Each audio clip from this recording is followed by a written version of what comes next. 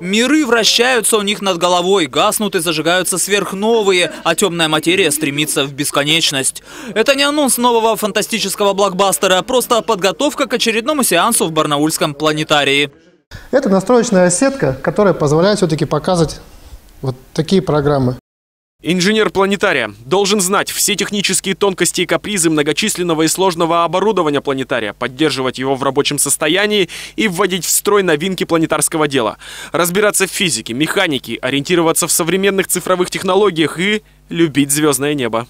Стоит пять проекторов, пять проекторов. Каждый проектор показывает свою картинку. Если что-то будет где-то расходиться, то есть по этой сетке мы определяем, точно будет картинка правильно показываться, либо не точно будет показываться картинка.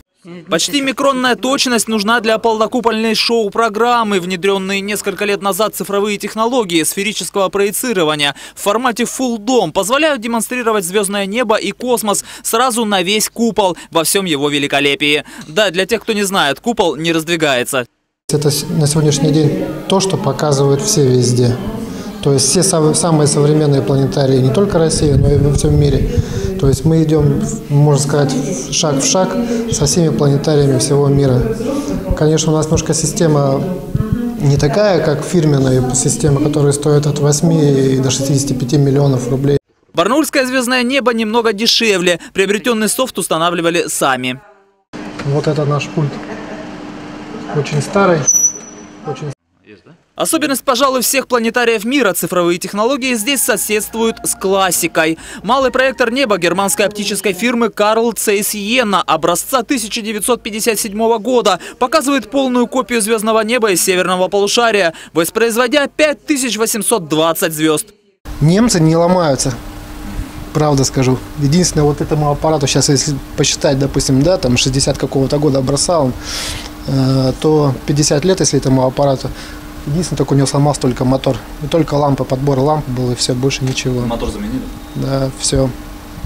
Кстати, стоил он в свое время как 15 автомобилей «Волга». В сочетании с современными цифровыми технологиями создает полную иллюзию «Звездных войн». И все подписано. Солнце, луна, мотор. Да. Здорово. включаем, включаем мотор. И у нас поехал, поехал, поехал на ход. Я вот сейчас пришел, все это проверил, состояние что все это все работает, что все настроено, все идея идеально. Все, на этом моя работа на, перед, перед программой заканчивается. Все. Я уступаю свое место лектору, все, лектор занимается уже своей деятельностью. Постоянно что-то ищешь, что-то с чем-то знакомишься, что-то узнаешь, пытаешься донести нашим любимым зрителям. Лектор планетария должен иметь хорошую речь, ориентироваться в тематических лекциях, знать астрономию и аппаратуру планетария. Основная специфика – это то, что работаешь в темном зале.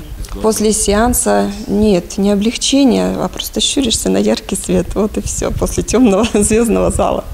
В день лектор проводит от двух до шести лекций. Их количество и тематика зависит от заказов учреждений и возраста зрителей. Во время сеанса и демонстрации звездного неба просьба не пользоваться сотовыми фото- и видеокамерами.